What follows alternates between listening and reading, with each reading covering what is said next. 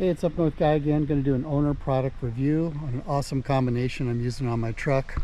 It's the G2 Bakflip tonneau cover with the Elevate rack system. going to tell you what I like about it, some of the best features, why I bought it, and some things I really wish they could improve.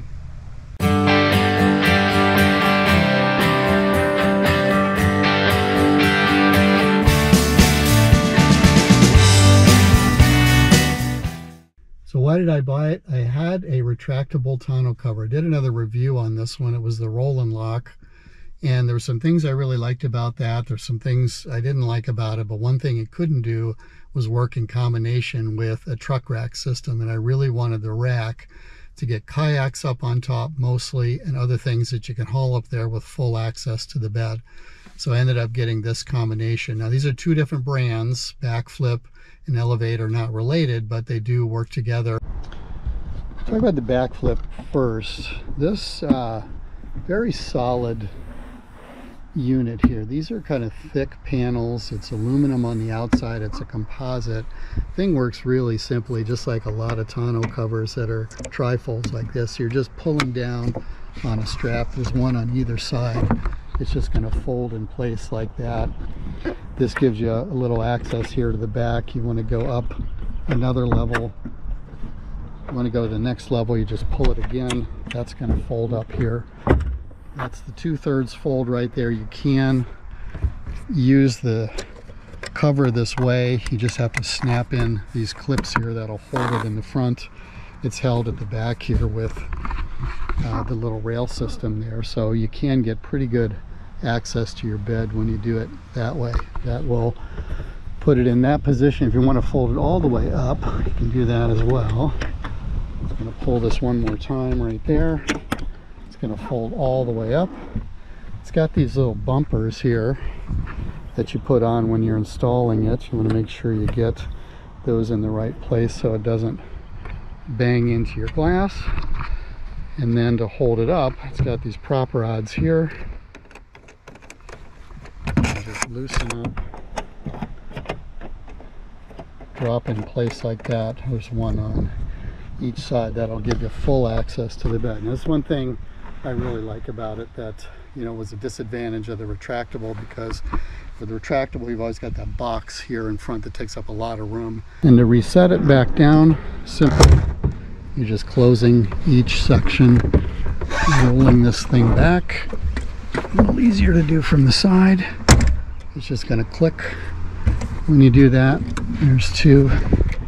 And then there's the last one. You know, one thing I really like about it compared to the retractable is the retractable you always got a lock so you got an extra key to do that. This thing's going to be locked down once you close and you lock you know your gate, your tailgate like that, it's locked up. Uh, let's talk about the install for a second. So these are two separate systems here. So the Elevate rail system is on the inside of the truck bed here and then this part is going to be for the Bakflip.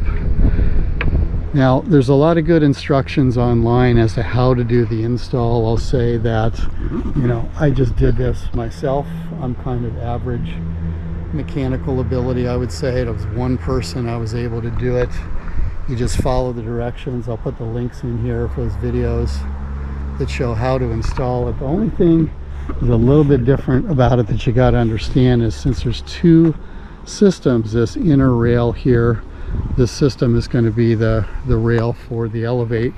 That's got its own clamps and its own kind of track there. You want to put that one on first.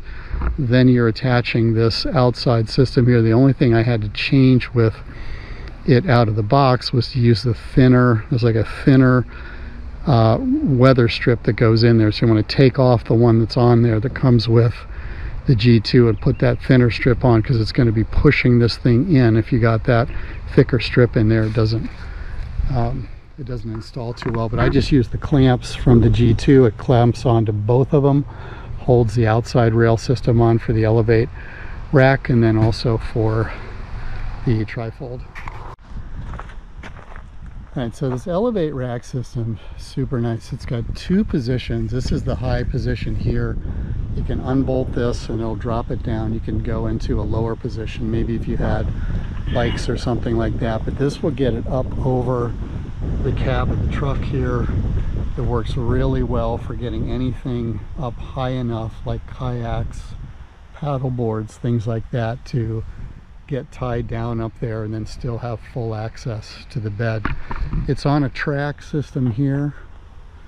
So you can adjust this up or down. I've got it kind of all the way forward and all the way to the back, but these things would unbolt and then slide up and down there to adjust it any way that you want. So I've really been enjoying using this thing.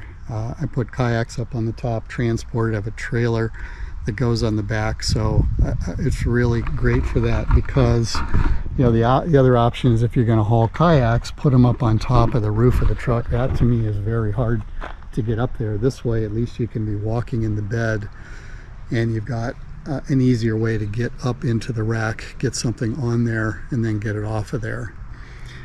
Now, what are the things I wish they could improve on this? The main thing is this rack system is just a little bit too high to fit inside a seven foot garage door, which is what I've got. So when the rack is in the top position like that, it's probably like right at about exactly 84 inches on this truck, which is the F-150 2020 model.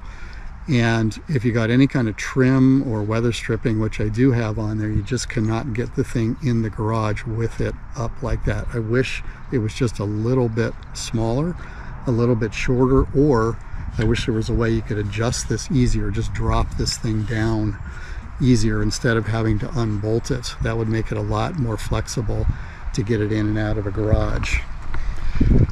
Now you can take it off all right? It's got bolts. You can just unbolt slide the thing out but it's really not meant to be taken off because if you look at this it's got a little plastic piece here on the back. This thing is actually weather stripped in.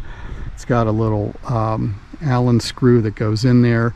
You take this on and off, it's going to wear this little plastic piece out. So you do have to, to remove this in order to slide the whole thing off of there.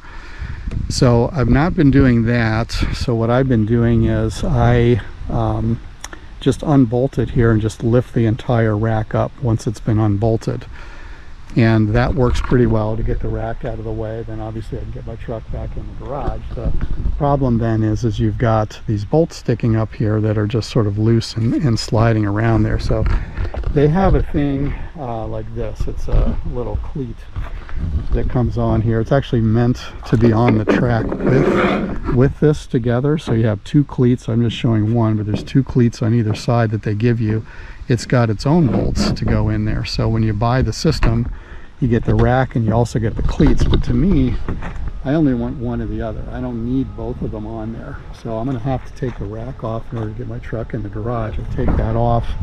I've got these bolts sticking up there. Then I'm gonna go bolt this thing back down and that's just gonna, uh, you know, just so I don't have the, the bolts sticking up there. I'll, I'll screw that back on to these things here. The one little thing I wish that was different is this bolt, the T-bolt that goes here is is the longer one and then there's a shorter one that goes with the rack. I wish they were the same. That would be uh, a lot easier to work with. So I'm using the longer bolt because I got to use the longer bolt for this cleat here. But then when you use the longer bolt, obviously you need something to hold it down. So I got a bunch of washers sort of stuck in there for that. This is like a typical you know, Yakima kayak holder that or canoe holder you might put on top of your car or something. If you look at this, this barely, in fact, it doesn't even really fit there. It's so thick, this piece of uh, the rack system is just, it's just made thicker than that. So um, I'm still looking for a kayak holder that works that well. I'm using these pieces here. This is like just a foam uh, piece that I got off of eTrailer. I'll put the link in on this product here, but it works. Um, you know, I don't think I would drive with it without a kayak on there, but this will hold a kayak on there sturdy. It's actually very inexpensive. How could you make it better? It'd be nice if there was just a little bit thinner of a bar there. I think that would be plenty sturdy enough for it and also allow you to get more accessories, you know, more readily available accessories like the kayak holders and other things up onto that rack.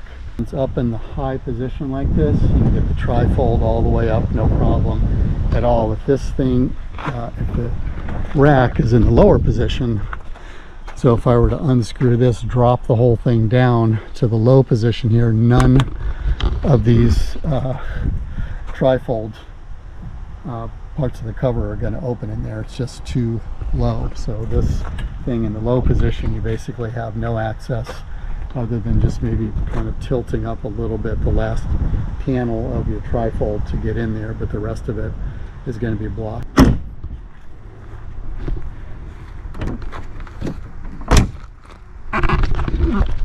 You know, I love the sturdiness of it. I love the flexibility, the utility you get out of it to be able to use, carry stuff on top of the truck bed like this with full access to the bed. It's been a big improvement over what I had before with the retractable.